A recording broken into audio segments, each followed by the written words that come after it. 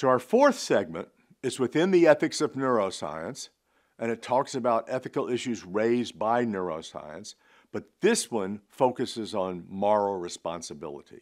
Well, the next one does too. This one's going to look at moral responsibility in a case of a person with a tumor that makes them lack control. The next one will look at the moral responsibility of psychopaths, where the issue is not lack of control. I should warn you that both of these segments include some things that, that some people might find upsetting, um, but they're examples that raise uh, this very basic issue about how to treat people with brain abnormalities. The first case was reported by Burns and Swerdlow in a scientific article in 2003, and it involved Michael, not his real name. Uh, Michael was a 40 year old corrections officer uh, who became a school teacher and got remarried in 1998.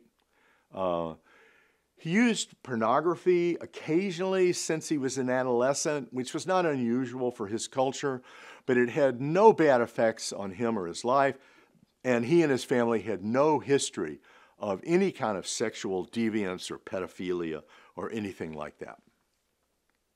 But in the year 2000, he started to collect pornography early in the year, later, child pornography in the summer.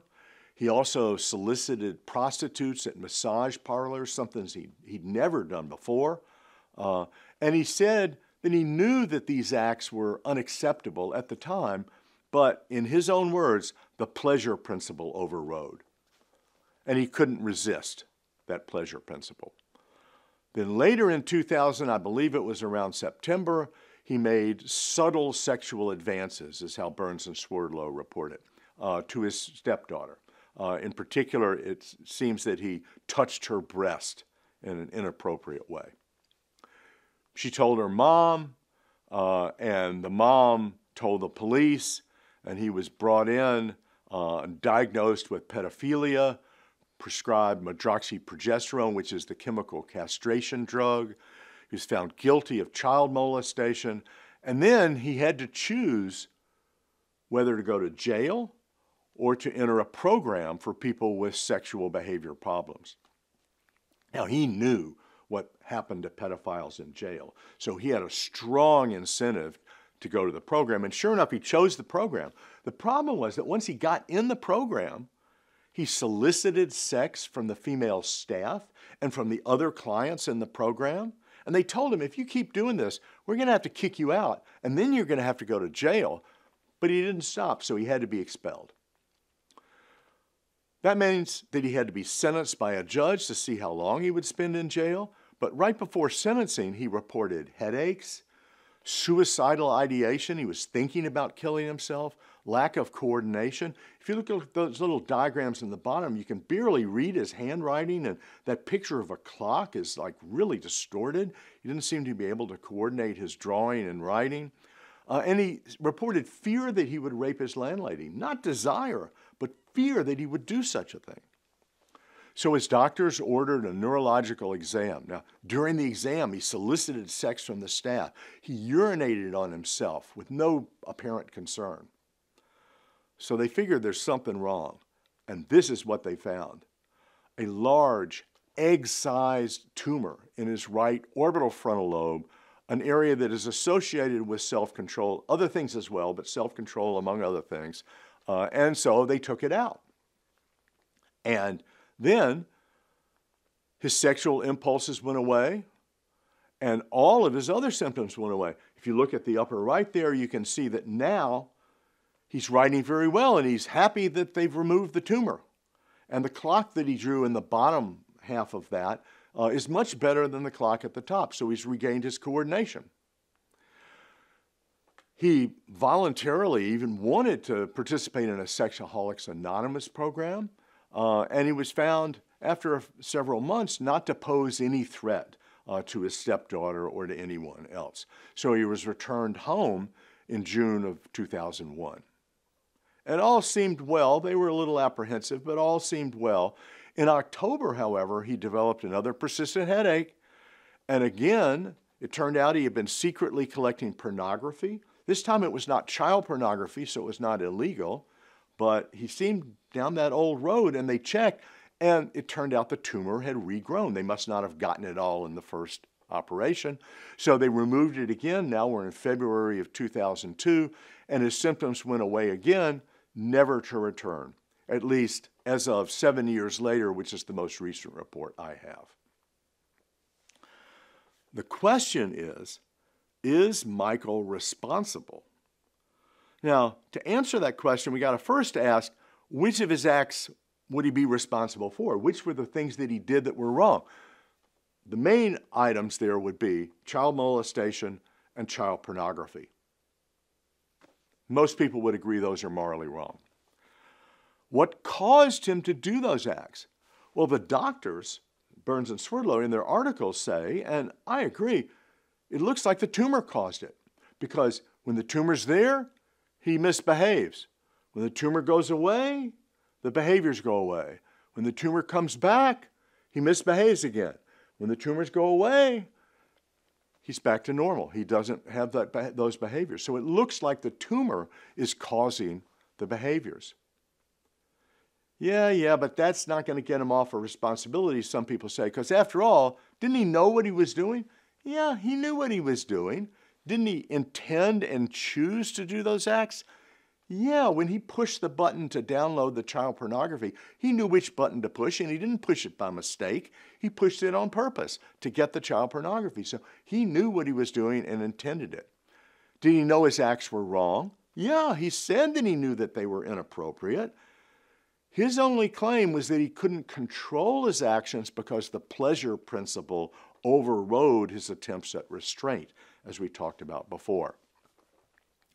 So, was he morally responsible? Many people would say, no, at least he was not fully morally responsible. Maybe he was partly, but not fully morally responsible because he lacked control. It was much more difficult for him to control impulses than for us to avoid those behaviors because we don't have the impulses at all.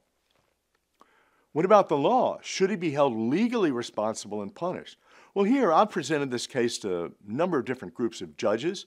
One group of federal judges, 75% say, I don't care, tumor or not. He performed those behaviors when he knew it was wrong and uh, intended to do it. According to the law, he has to be punished. Guilty of child molestation, guilty of um, child pornography, minimum sentence at least five, maybe 10 years in jail for doing this. But when I did this with state judges, they were much more lenient. I think it was more like only a third of them thought he should be punished, and two thirds thought he should be put out on probation and monitored, but, but not put into jail. So there's a large variety of views on this issue. But let's think about the people who think that Michael is not morally responsible and ask, well, what about us? If Michael's not morally or legally responsible, how can any normal people ever be morally or legally responsible? Because after all, normal people's actions also have neural causes. Our brains affect what we do, whether we've got a tumor or not.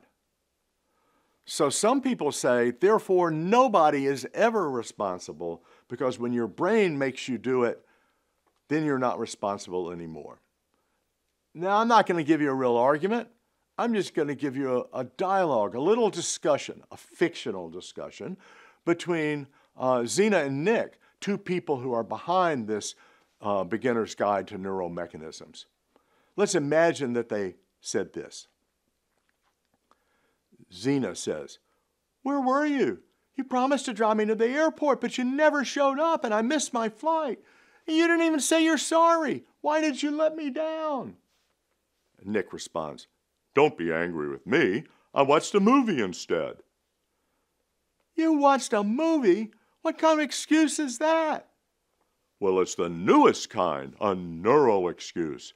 I really wanted to watch the movie, and my desires are lies in my brain, so my brain made me do it. Of course, your brain made you do it. It wasn't your foot. Your desires are located in your brain. So your brain made you do it. So what? What matters is which part of your brain made you do it. What made you do it was the parts of your brain that constitute your desires. So saying that your brain made you do it is just a fancy schmancy way of saying that you did it because you wanted to. That's no excuse. Well, but, but, but, given all of my desires and beliefs, I would act the same way every time in the circumstances. Sure, but why? Only because your brain is set up so that you care more about the movie than you care about me. How is that supposed to make me any less angry? Your brain doesn't care about me or you don't care about me. Either way, you treated me like dirt. I'm sorry. Now, this dialogue is not supposed to be a formal argument, but the point, I hope, is clear. My brain made me do it is way too general. It's not enough to say your brain made you do it. The question is which part of your brain made you do it. If a tumor made you do it, that's one thing, and that might remove your responsibility. But if your desires made you do it, that just shows what kind of a person you are and doesn't provide any excuse whatsoever. So, this is where neuroscience and philosophy can work together. Neuroscience can tell us which part of the brain is involved in different types of decisions. Philosophy can establish normative standards of responsibility, and then the two can work together to figure out which people are responsible and which people are not responsible. And therefore, how we ought to react to those different people uh, when they misbehave. Uh, so that's one big issue regarding moral responsibility in the ethics of neuroscience. And now we'll turn to another.